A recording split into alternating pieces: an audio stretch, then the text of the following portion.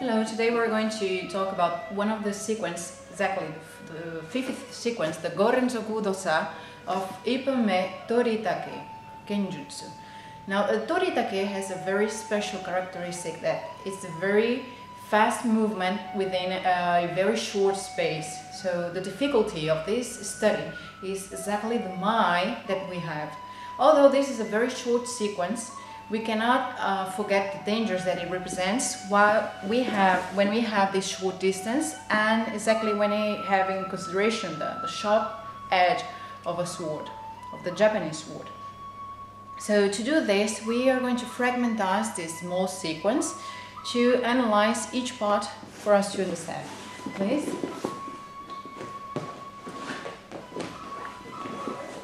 So this sequence starts actually with the normal distance between both practitioners or, or both uh. And we're going to start the sequence by taking out the control of his sword to attack a really fast movement on his head. So this is called Tsukiru. As, and as we are going to attack in the Jodan area, we can say that this is a Tsukiru Makogiri or a Tsukiru uh, with a Jodan target. So in this case, I'm going to do a very small movement just by passing my sword to the other side to a very violent impact. So this would give me the space that I need to enter from here, a very short movement from my wrist to use as a lever to attack with the Kissaki in the Jodan area. But in this case, of course, he's going to defend himself. So when I pass my sword to the other side, he will actually start doing also his own movement to defend himself by bringing the sword to a higher defense technique.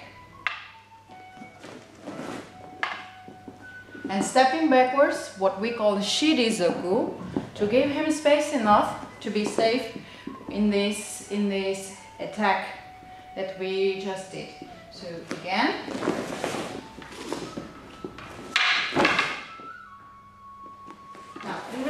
to our legs, to do this very fast movement, we need to apply uh, two techniques within the time of one attack. So I would move my legs while I'm doing this small circle to impact on his sword. Actually, I'm going to bring my thorax forward to give me the space that I need, avoiding stepping forward um, while I'm waiting for him to lose the control of the sword. So the thorax go forward while I do the circle and impact. And now that I have this vulnerability, I can step forward to the attack. Okay? From here.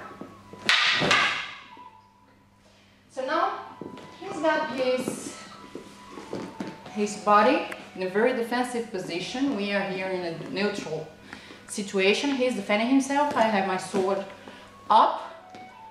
So he's going to attack me now because as he has his sword under mine, he easily can unbalance or give take away my sword because in this case it's going to flipper to the side and I have a vulnerability here or in other case just by this, the strategical study he can also bring his blade to the middle part of my blade and use the same strategy that I've used to unbalance and make me lose the control of the sword. So anyway, doesn't matter what he does, because when he attacks, I'm going to knee down, because I'm going to change the level of the target.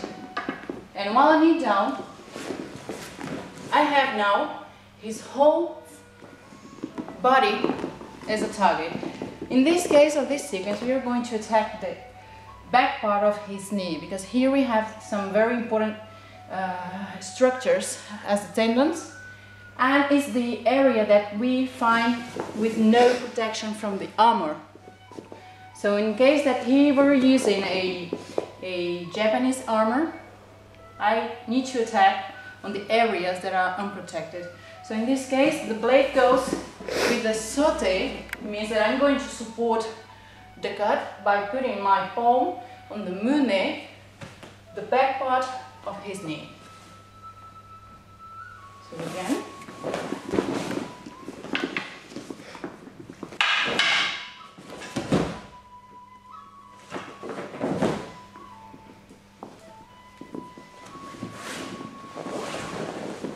Very short sequence, although as you can see, we need to study all the details to make it possible and efficient. Thank you.